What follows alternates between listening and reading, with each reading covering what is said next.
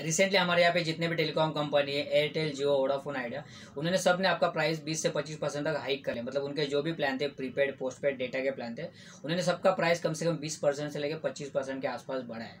इसकी वजह से लोग बहुत ज़्यादा नाराज़ है। पहले लॉकडाउन था लॉकडाउन की वजह से वैसे लोग बहुत ज़्यादा फाइनेंशियल प्रॉब्लम से गुजर रहे थे। इसके ऊपर अभी ये जो प्राइस हाइक हुआ है, इसकी वजह से लोग बहुत ही ज़्यादा अपसेट है। लेकिन इन फ्यूचर में आप जल्दी देखोगे कि वापस प्राइस हाइक हुआ है। ये सारे जितने भी टेलीकॉम कंपनी है, जल्दी अपना प्राइस वापस बढ़ाने वाले तो इस वीडियो में मैं आपको कुछ ऐसे रीज़न बताऊँगा, जिसकी वजह से ये प्राइस वापस बढ़ने वाला है, वापस प्राइस हाइक होने वाला है। तो ये वीडियो एंड तक देखते रहे अगर वीडियो अच्छा लगा तो लाइक करना शेयर करना और सब्सक्राइब ज़रूर करना। अगर फ़र्स्ट टाइम आप हमारा चैनल देख रहे हो तो सब्सक्राइब करना ना भूलेगा तो हेलो फ्रेंड मेरा नाम है Lakshman. Welcome to mister Mori YouTube channel चलो वीडियो को शुरुआत करते हैं। ये जो रिसेंटली प्राइस हाइक हुआ ये सही है या गलत, ये हमें जानने के लिए हमें सबसे पहले देखना पड़ेगा कि जो बाकी की कंट्रीज़ है मतलब जो बाहर की कंट्री है, वहाँ पे वन जी डेटा की क्या प्राइस है। तो हम लोग देखते हैं जो इंडिया में क्या वन जीबी डेटा की प्राइस है और साथ ही जो हमारे नेबर कंट्री है और कुछ फॉरेन कंट्री है, वहाँ पे डेटा की प्राइस क्या है? तभी जाके हमें क्लियर हो जाएगा कि ये सही है या गलत सबसे पहले हम लोग देखते हैं कि इंडिया में वन जीबी डेटा की क्या प्राइस है। तो वो इंडिया में जो वन जी डेटा है, वो अराउंड फाइव रुपीज़ से लेकर सेवन रुपीज़ के आसपास वन जी डेटा मिलता है। ठीक है, उसके बाद इसराइल का नंबर आता है। इसराइल जो है अराउंड एट रुपीज़ के एट रुपीज़ से लेकर बारह रुपीज़ के आसपास इसराइल में वन जी डेटा मिलता है। अगर हम लोग हमारे पड़ोसी कंट्री नेबर कंट्री अगर हम लोग पाकिस्तान की बात करेंगे तो पाकिस्तान में अराउंड सिक्सटी रुपीज़ से सेवेंटी रुपीज़ के आसपास वन जीबी डेटा मिलता है। देखो, यहाँ पे हम लोग सिर्फ़ इंडियन रुपीज़ में बात कर रहे हैं, ना कि किसी दूसरी करेंसी में। वही अगर चाइना की बात करें तो चाइना भी अराउंड सेम है सिक्सटी सेवेंटी रुपीज़ के आसपास है। उसके बाद नेपाल में भी सेम है सिक्सटी सेवेंटी रुपीज़ के आसपास है। श्रीलंका में फोर्टी रुपीज़ के आसपास वन जी डेटा की प्राइस है। वही बांग्लादेश में अराउंड फिफ्टी से सिक्सटी रुपीज़ के आसपास वन जी डेटा की प्राइस है। यहाँ पर हम लोग कुछ फॉरेन कंट्री का एग्जांपल लेते हैं, जैसे ऑस्ट्रेलिया में 55 से 70 रुपीज़ के आसपास वन जी डेटा के लिए खर्चा करना पड़ता है। वही यूएसए की बात करेंगे तो थाउज़ेंड रुपीज़ के आसपास वन जी डेटा मिलता है।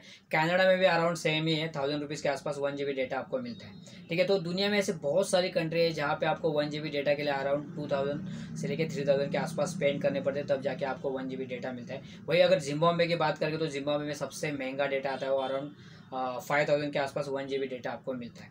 तो इससे एक बात तो क्लियर है कि मतलब दुनिया में सबसे सस्ता अगर डेटा कहीं पर मिलता है, वो है इंडिया में। तो क्या शुरुआत से इंडिया में इतना सस्ता डेटा था? सबको पता है कि इंडिया में इतना सस्ता डेटा नहीं था। जब जियो लॉन्च हुआ था, उसके बाद ही इंडिया में इतना सस्ता डेटा मिलना चालू हुआ था।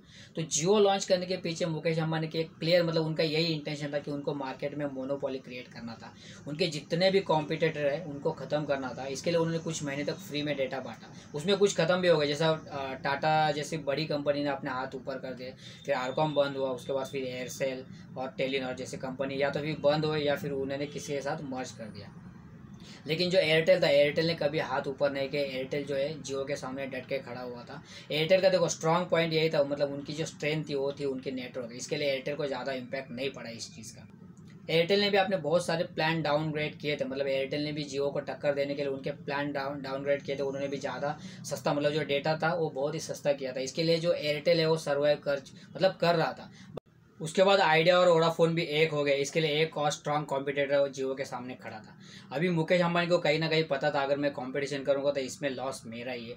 इसके लिए उन्होंने भी हार मान लिया आखिरकार। और अभी जब भी मतलब तीनों शायद तो दूसरे भी दो ऑपरेटर जैसा एयरटेल और वोडाफोन आइडिया से कुछ बात किया रहेगा बैकेंड में से कुछ बात किया रहेगा मैनेजमेंट ने कुछ बात किया रहेगा, जिसकी वजह से अभी जब भी प्राइस बढ़ते, तीनों एक साथ प्राइस बढ़ाते। इससे पहले भी दो तीन बार प्राइस बढ़ा है और जब भी प्राइस बढ़ता है ऑलमोस्ट सबका प्राइस एक साथ ही बढ़ता है और ऑलमोस्ट सेम ही होता है। अगर आप प्लान कंपेरिजन करेंगे तो ऑलमोस्ट सबके प्लान सेम ही है।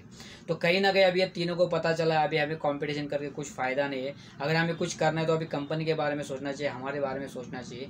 इसके लिए उन्होंने अभी जब भी प्लान बढ़ाना रहता है, तीनों एक साथ प्लान बढ़ाते हैं। अभी इन फ्यूचर में भी हमें कंटिन्यूसली प्राइस बढ़ता हुआ दिखेगा, क्योंकि अभी ज़्यादा कंपटीशन है नहीं, तीन ही प्लेयर बचे हैं। तो इसके लिए अभी कंटिन्यू प्राइस बढ़ाते रहेंगे। आई होप कि आपको ये वीडियो अच्छा लगा होगा। अगर वीडियो अच्छा लगा तो लाइक करना, साथ ही सब्सक्राइब करना ना भूलेगा थैंक यू फॉर वॉचिंग मिलते हैं नेक्स्ट वीडियो में।